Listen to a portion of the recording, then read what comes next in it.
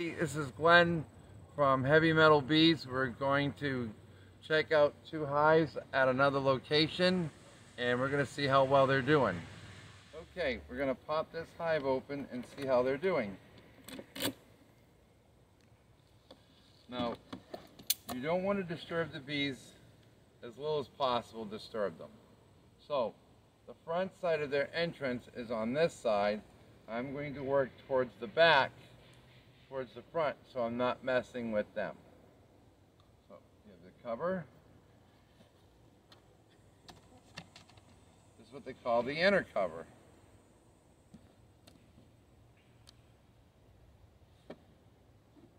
Thank goodness they didn't put any cone on that. They like to cone that too. Now inside, is what we call the super. This is what they put their honey in.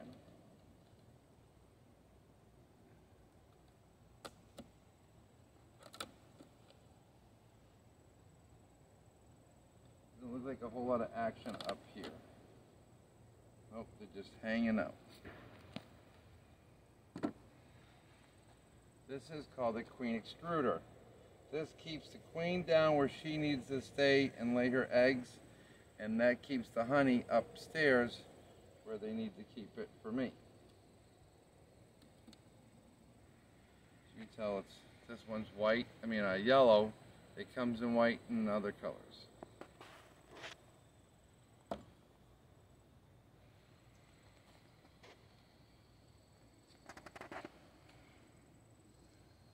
They come closer. Mm -hmm. So in this hive is a trap. It's full of oil, and the bees will chase the bad guys towards this, and they think it's safe, so they jump inside where it's not safe, and they drown in oil. All natural, so you don't have to worry about hurting the honey.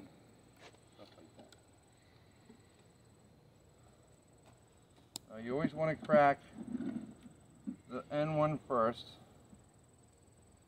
This is that little corner I told you about, the little hook. You place it in the hive, you catch the frame a little bit, and you pull up one end, and you pull up the other end, and no one gets disturbed. Last thing you want to do is squish a bee. You take the next frame out, nice and gentle, see how they're working it, both sides. While you're doing that, you want to make sure you're not messing with the queen.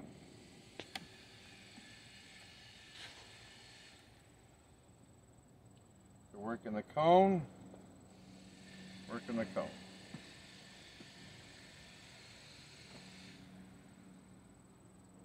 Make sure there's no queen on that panel. I'm sort of putting them off to the side because I want a little extra room. There seems to be some dirt in here. Sometimes you want to help them out and keep the hive clean.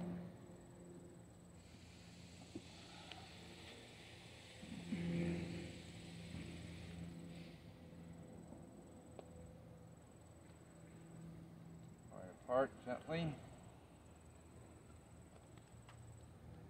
What I'm looking for is eggs and babies. And this is what I wanted to see. As you can see, there's babies right there. They're covered up.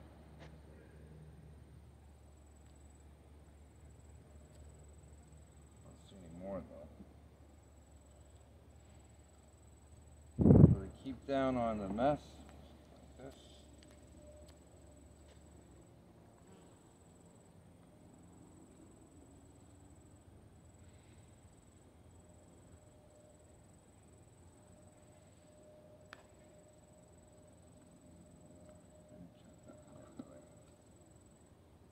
So this is what I want to see. Nice pattern. Blow a little bit with your breath. They don't like heat. And there's all your babies. That's good pattern. It's all in one section. I see extra babies down at the bottom. They're very hard to see sometimes. We have babies on this side. All right, the girls are doing their job. So that means we shouldn't have to mess with this anymore. But I just want to do a quick little cross checking. To make sure we don't have any little friends that are fuzzy, like Mr. Mouse.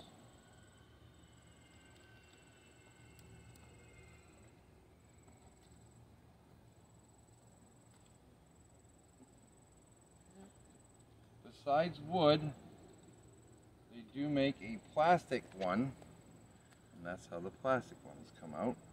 This little guard down the side is to keep um, hive beetles and um, varroa mites from getting to the cone. That's Someone's bright idea, and I think it works good.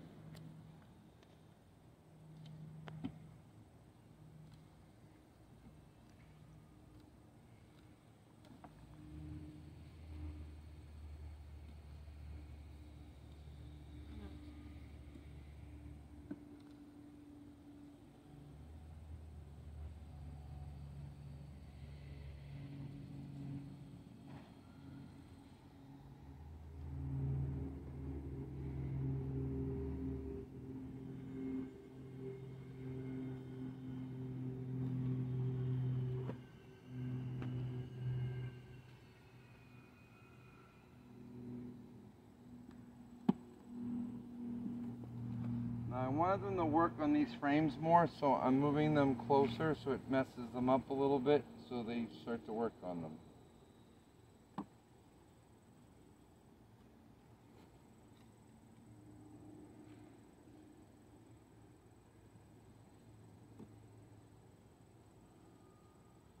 Check the spacings. Sure everybody's happy.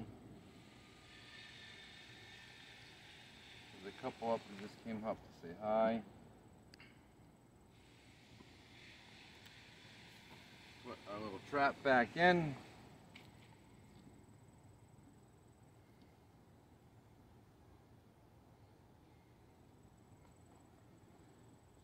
If you get your queen excluder. You want to keep the queen downstairs doing her job.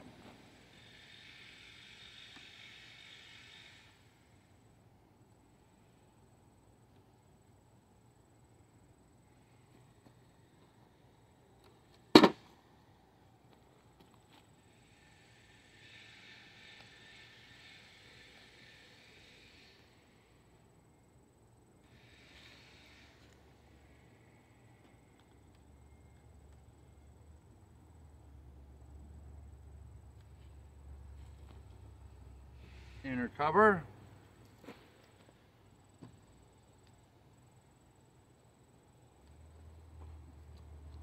Outer cover.